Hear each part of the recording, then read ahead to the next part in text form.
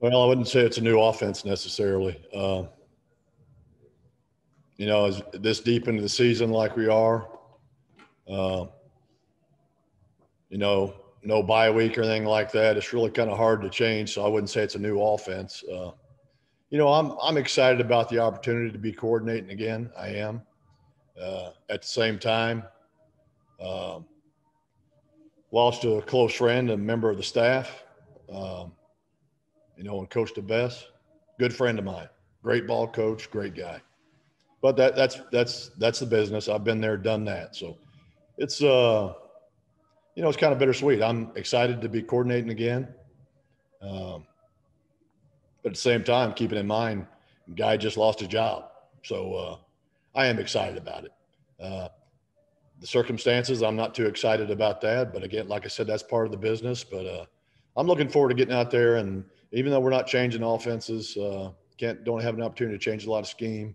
You know, I, I think uh, you know his personality and my personality a little bit different. I, I think there will be a change, maybe in uh, some of the play calls, even though the scheme hadn't changed he may Bob saw the things a little bit different than I do.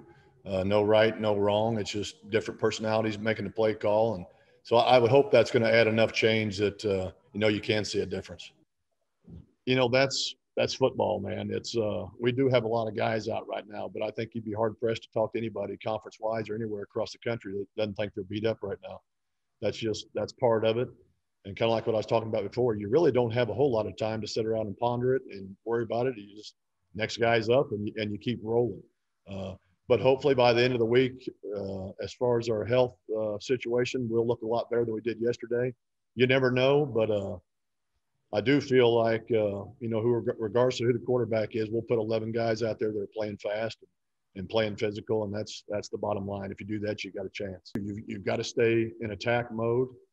And uh, Coach Lunsford, he talks to our team all the time about it, especially the last couple of weeks when you've got somebody down, particularly you know in the second half, you've got to be able to finish them off, and and that that means uh, not necessarily going into a milk the clock situation. You've you've got to stay aggressive in your play call, and and I think we've done that. I'm not saying we haven't. Uh, you you got to keep your foot on the gas, and uh, in football today, people can score and score in a hurry.